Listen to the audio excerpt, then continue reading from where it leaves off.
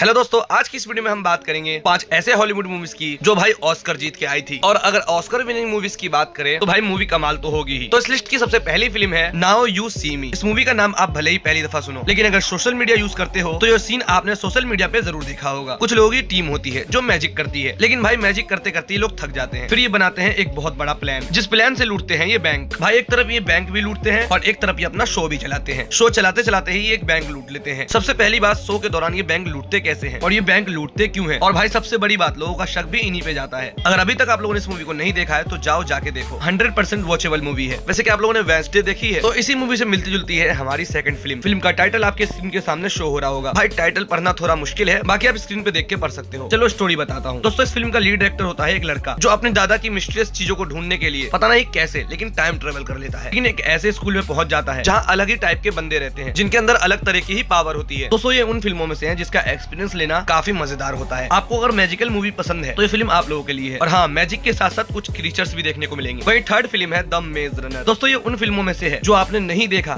तो भाई आपने समझ लो कुछ नहीं देखा। भाई, इस फ़िल्म की बात करूँ तो भाई ये मेरे फेवरेट लिस्ट में आती है। तीन पार्ट में बनी हुई है ये फ़िल्म फ़िलहाल इस वीडियो में हम बात करेंगे पहले पार्ट की। एक बहुत बड़ी दीवार, जिसको भाई पार तो नहीं किया जा सकता। ये दीवार काफ़ी मिस्टीरियस जगह पे है, जहाँ कुछ लोगों को एक एक करके भेजा जाता है, उन पर एक्सपेरिमेंट करने के लिए। साथ ही साथ कुछ सामान भी भेजा जाता है, और उनकी यादाश्त भी मिटा दी जाती है। फ़िल्म काफ़ी मिस्टीरियस सस्पेंस थ्रिल से भरा पड़ा है। और भाई फ़िल्म का जो एंड है, वो आप कभी एक्सपेक्ट नहीं कर सकते कि आखिर इस फ़िल्म के एंड में क्या होगा। तो भाई, बस यही कहूँगा कि इस मूवी को देखो और इसके जो दो पार्ट्स और हैं, वो भी देखो। मज़ा ना आए, फिर बोलना। और भाई, जिन लोगों ने देखा है, वो लोग इस चैनल को सब्सक्राइब करके कमेंट बॉक्स में बताओ कि आखिर ये फ़िल्म कैसी लगी आप लोग हमारे इस वीडियो की फोर्थ नंबर की जो मूवी है, वो है द लास्ट एयर दोस्तों, अभी हाल फ़िलहाल में इसका पार्ट टू भी रिलीज़ हुआ है। फ़िलहाल इस वीडियो में आपको पार्ट वन से जुड़ी कुछ बातें बता देता हूँ। इस फ़िल्म के अंदर चार पावर्स होती है। पहला वाटर दूसरा फायर तीसरा एयर और चौथा अर्थ इन चारों का ही चार नेशन बना हुआ है। जो फायर वाले वो फायर को कंट्रोल करते हैं। जो एयर वाले हैं, वो एयर को कंट्रोल करते हैं। जो अर्थ वाले हैं, वो अर्थ को कंट्रोल करते हैं। और जो वाटर वाले हैं, वो वाटर को कंट्रोल करते हैं। और इन सब में जो ताकतवर होता है, भाई वो है फायर और ये फायर नेशन वाले, बाकी बचे तीन नेशन वालों को कंट्रोल करना चाहते हैं। जिस वजह से एक एक करके तीनों पे हमला कर देते हैं। लेकिन भाई ये फायर वाले काफ़ी ताकतवर होते हैं। जिस वजह से कोई भी इनसे पंगा नहीं लेना चाहता। लेकिन फाइनली जब हमारा मेन कैरेक्टर पैदा होता है तो भाई उसके अंदर होते हैं ये चारों पावर और हमारा ये मेन कैरेक्टर चारों पावर को कंट्रोल कर सकता है। और वो निकल पड़ता है एक एडवेंचर के लिए। चारों ही पावर को कंट्रोल करके। फायर वालों को उनकी औकात